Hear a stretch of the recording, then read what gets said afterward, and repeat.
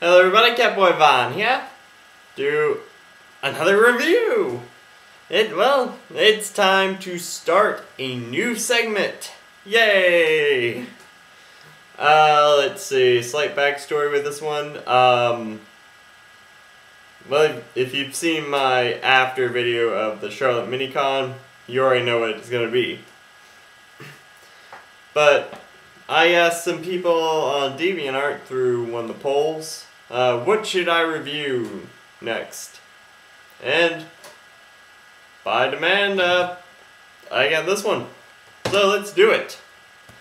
Today we'll be talking about the Masters of the Universe Classics figure of Orko, plus a little extra thing, which we'll get to when we open it. In truth, I never planned to get any of the, well, 5-inch scale stuff made by Matty. But with a previous purchase I made, uh, that'll come in later, um,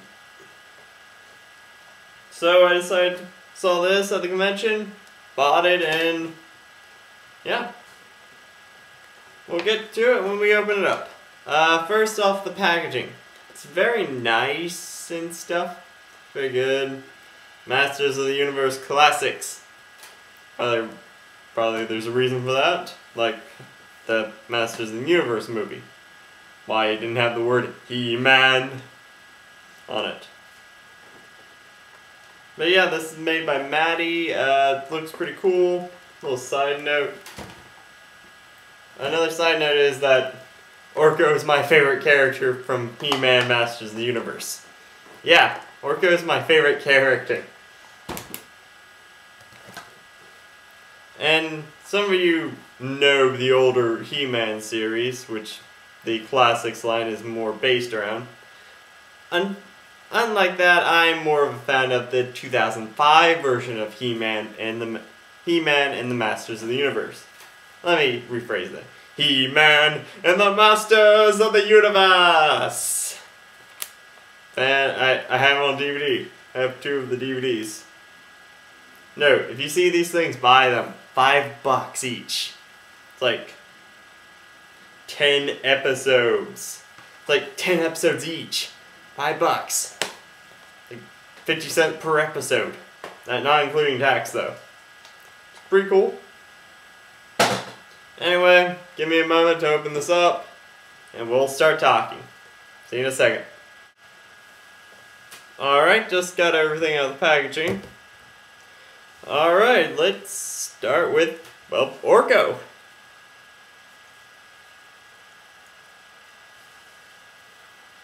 Orko was uh, the little file card, really long one, will explain Orko a little better than I can. Because Orko is a court magician, is the court magician of Eternia, where the entire story of He-Man and the Masters of the Universe takes place. Uh, the Orko figure is pretty simple. Um, the head can rotate a full 360, and the scarf can move a full 360. Uh, arms can go about this far up, depending on where the hat is bend up and down, can turn a full 360, but slightly hindered because of where the hat's positioned. The elbow bends in and out, turns a full 360 sideways, and the hand turns a full 360. Um, there, there's nothing under him. Nothing at all. So, yeah, uh, we're gonna wait for accessories in a moment to read Orko's backstory. And there's a little tiny picture of Orko.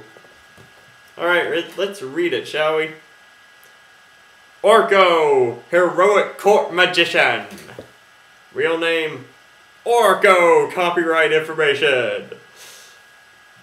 After the rise of the Horde Empire,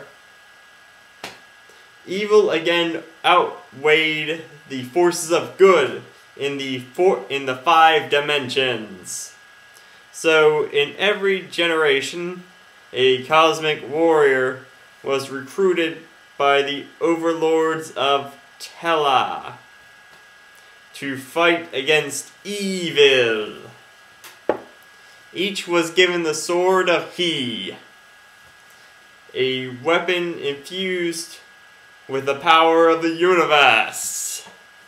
They were also assigned a Trollan guide to watch over them and advise them in their quests. On the planet Eternia, after five centuries of being split in two, the Telson Powers Trell Trollan, I think that's actually how pronounced, Power Sword was at last rejoined and bequested to an to the heir of worthy of its power, Prince Adam of the royal household. Orko, a member of the of the Trollan magic elite, was assigned to watch over Adam.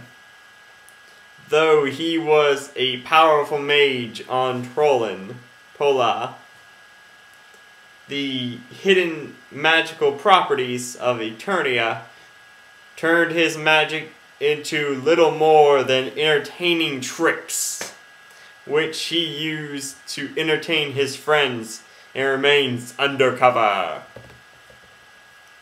Wow, I never knew that actually. From from from what I remember in the cartoon, is that or that Orko was just silly. In Eternia, um, it was revealed in the show that he was from somewhere else. But whatever. It's Orko. Yay. Um, Orko's accessories are um, his magic wand, which fits in his right hand, a book, which I can't seem to fit in his right hand, but it should, and this thing. Little orb thing. Um, it's supposed to keep Orko balanced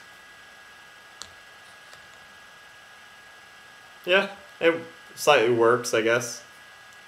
Just put it on my computer. Um, see? Slightly balanced, but that was... I, I have shaking hands. Oh, there's more accessories than just that. Um, but first, I think there's something going on. Let me check. I have the power! Oh, he, he has to fight Skeletor. Hmm? Prince Adam, uh, your father, King Randor, wishes to see you in the main chambers.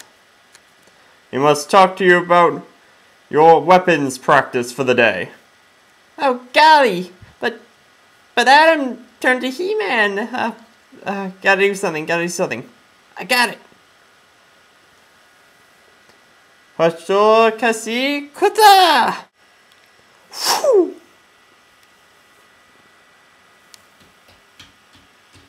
Hi, people of Eternia. I am Prince Adam.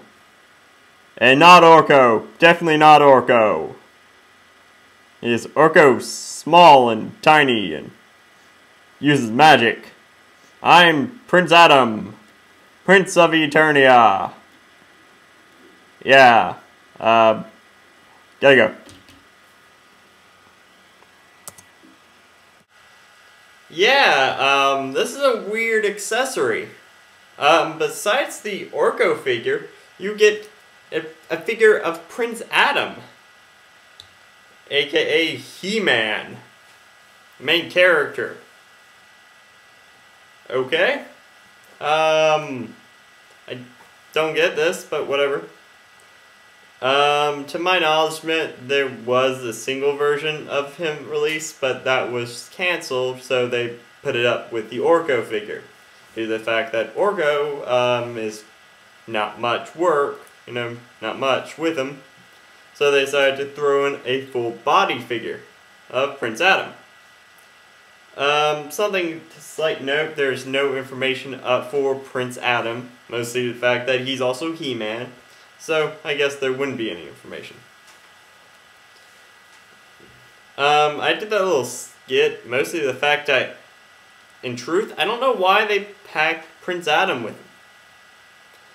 Uh, they were always, they're always, they're good friends, but I don't see why they would be put in the same set. I just think from the original 80s show that Orko turned into Prince Adam a few times. Probably another reason why most people didn't see that Prince Adam was actually He-Man, even though they are extremely similarly built. At least the 2005 series addressed that by making Adam really, really skinny and short, and making He-Man really, really tall and strong, muscular. Anyway, let's get to articulation for Adam, Prince Adam. Uh, his head rotates a full 360, goes up and down. His arms go about this far up, then turn a full 360. The bicep turns a full 360. Still don't get that. Um, let's see, the elbow bends in and out. And the hands turn a full 360. Waist articulation goes full 360, bends up and down slightly. Legs move out this far up, side to side slightly. Bend to the kneecap. Feet pivot up and down, and move side to side slightly. Uh, in truth, the articula articulation, I'm terribly sorry, um, it's not that great. Well, it could be slightly better, but this is the standard for all of Matty Collector stuff. And anyway, this is more for collectors more than, well, kids playing, I guess. It's the key word I could really say. In truth, is a nice figure. He comes with three accessories. He comes with another head, um, one more considerably a He-Man, the He-Man face more than the Prince Adam face. Uh, yeah, the head's removable. Not gonna do that. Um, half a sword and a full sword. The full the sword is supposed to be well the sword of he that he that Prince Adam has, and turns of course into He-Man's sword. You know the ones that I have the power that stuff. I'm really. It's kind of weird that he comes with half the sword too.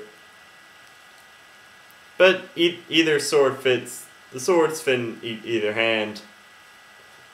So yeah, I got two figures for what in one packaging.